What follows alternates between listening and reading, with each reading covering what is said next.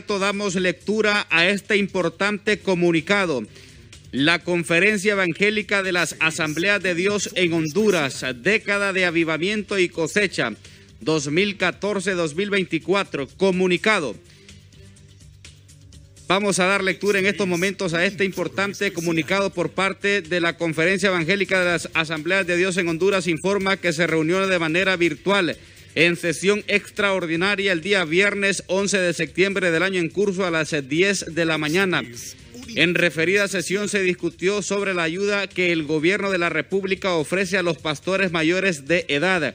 Después de discutir ampliamente el asunto y por voto unánime, se aprobó enviar el siguiente comunicado. Uno, como iglesia tenemos un sistema económico y es la iglesia local la responsable de velar y proveer para las necesidades de su pastor.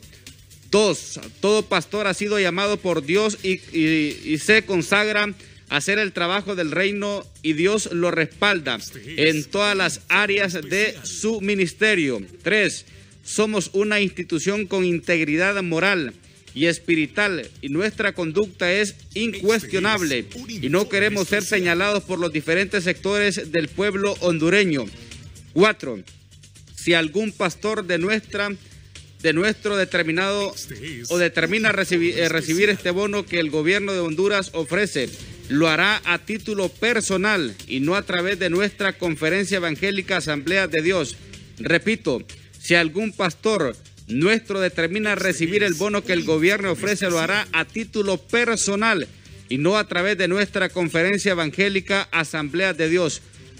Por las eh, cuatro razones antes señaladas, la Asamblea de Dios no participará en recibir el estipendio económico que el gobierno está ofreciendo por Cristo y por la integridad de su iglesia, dado en la ciudad de San Pedro Sula, departamento de Cortés, a los 11 días del mes de septiembre del año 2020. Están rechazando la ayuda a través del bono, pero dejan a criterio de cada uno de los pastores si lo reciben será de manera o título personal.